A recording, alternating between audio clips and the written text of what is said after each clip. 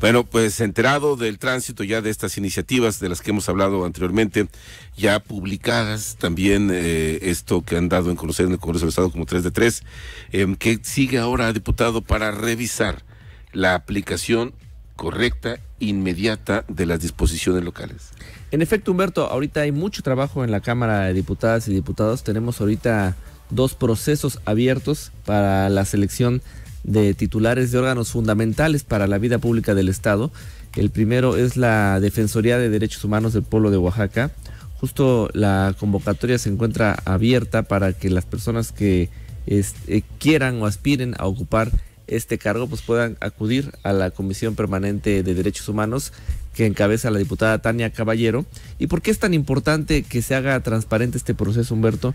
Porque en un estado como Oaxaca, donde tenemos una triste historia de abuso de parte del poder, la Defensoría de Derechos Humanos del pueblo de Oaxaca se vuelve fundamental, se vuelve una herramienta de lucha, se vuelve una herramienta de búsqueda por la igualdad, por la equidad y desde luego por los derechos humanos. Y bueno, estamos seguros de que la persona que se elija por el Pleno de la Cámara de Diputadas y Diputados será la persona más idónea, será la persona con más experiencia y lo más importante, la persona con mayor compromiso de defensa de los derechos humanos del pueblo de Oaxaca. Y también cabe hacer mención que hoy por hoy estamos viviendo un tiempo distinto en nuestra entidad. Tenemos un gobierno del Estado donde se respetan los derechos humanos, tenemos un gobierno del Estado donde desde la coordinación de derechos humanos se está velando por la capacitación constante de todos los servidores públicos, pero bueno, hay muchísimas autoridades también municipales y otras entidades que pueden ser susceptibles de violar algún derecho humano. Y es por eso que estamos comprometidos a hacer ese, este procedimiento de cara al pueblo de Oaxaca, Humberto la vez pasada habían platicado sobre la pertinencia de que el Congreso del Estado se convierta en una especie de pararrayos o eh, una avanzada para evitar los conflictos que derivan a veces del manejo de los ayuntamientos, de los recursos públicos.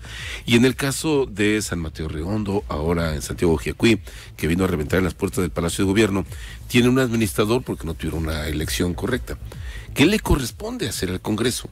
Para evitar que estos asuntos lleguen y exploten todos solo en el rostro del Poder Ejecutivo, cuando es responsabilidad compartida la revisión de cuentas le corresponde al Congreso local en buena medida por el órgano de fiscalización. Exactamente, Humberto. Eh, eh, tenemos que entender que el gobierno no es únicamente el poder ejecutivo. El gobierno es el poder legislativo, el poder judicial, desde luego el poder ejecutivo, los órganos autónomos, también las autoridades municipales. Es decir, aunque hay distintos niveles y distintos rubros y rangos, el gobierno es uno solo y el pueblo quiere que el gobierno dé resultados. Me parece que esto que comentas de qué responsabilidad debe tener el poder legislativo para la resolución de la conflictividad social es muy pertinente.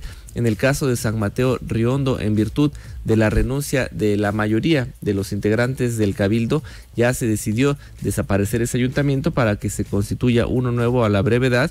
Y bueno, en el caso de Chacuí, Ayer la diputada Melina Sosa, que es la diputada de la zona, también hizo un llamado a los manifestantes a que lo hicieran por la vía del diálogo, que evitaran las manifestaciones, que evitaran lo más importante, la violencia, porque entendemos que ayer en el Palacio de Gobierno pues se encontraban mujeres, niños, y no podemos permitir que por alguna conflictividad social interna de algún municipio, pues se violente o se pueda generar algún daño en la integridad de las personas que se encuentran, en este caso, en la Casa del Pueblo, que es el Palacio de Gobierno.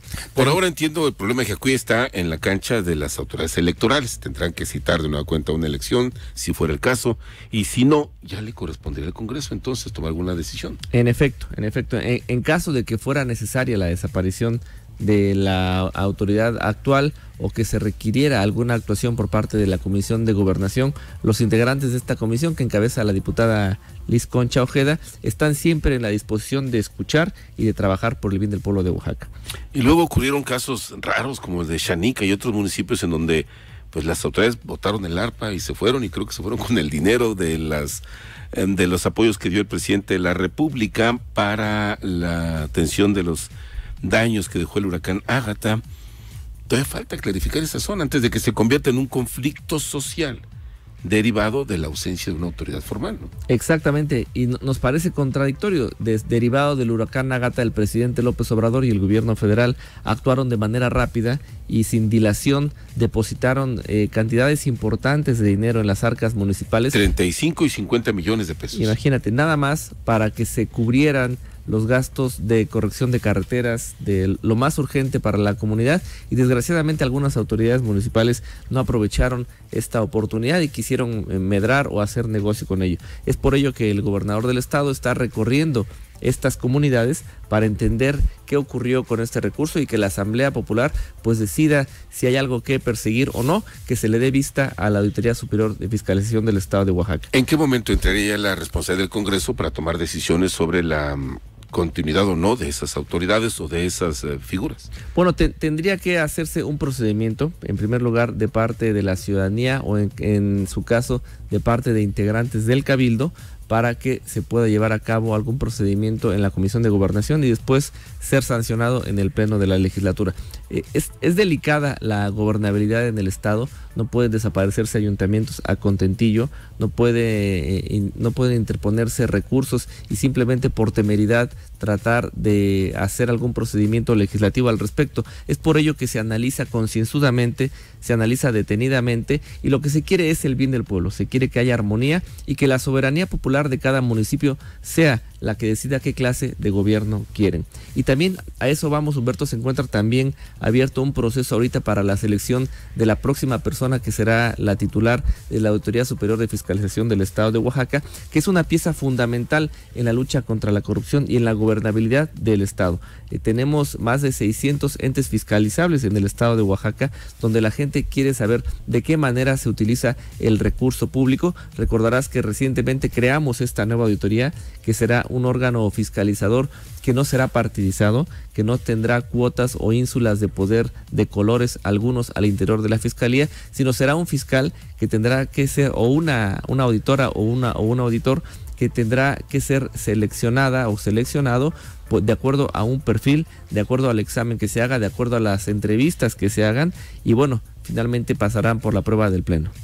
Es una figura bastante interesante y de gran relevancia para que, como usted lo dijo, los, las sanciones a la autoridad que no cumpla con sus funciones no sea a contentillo de los grupos, sino por mandato legal. Que si no cumplieron, pues mi rey, con permiso, pásale, pásale a las altas municipales, ¿no? Exactamente, de eso se trata, de que ya no esté partidizada la fiscalización de recursos, de que no digan, bueno, como este presidente municipal es de mi partido, a él a él gracia y el otro que no, eh, no, es de mi partido, justicia. No, aquí se trata justicia para todas y todos, porque estamos viviendo tiempos nuevos, Humberto. Estamos viviendo tiempos en los que la gente demanda, quiere, quiere saber de qué manera se ocupan los recursos públicos y nos parece por eso que tenemos esta gran responsabilidad que vamos a cumplir de seleccionar a la mejor persona para ser la titular de esta auditoría.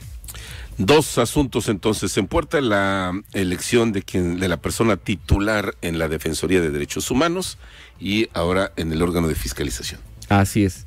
Y yo espero que alrededor de finales del mes de marzo ya estemos seleccionando auditor. El, plazo es alrededor del 20-21 de marzo y 22 de marzo, que también coincide con la visita del presidente López Obrador, coincide con la reunión de la CONAGO, coincide con el natalicio de Benito Juárez García nos parece muy pertinente.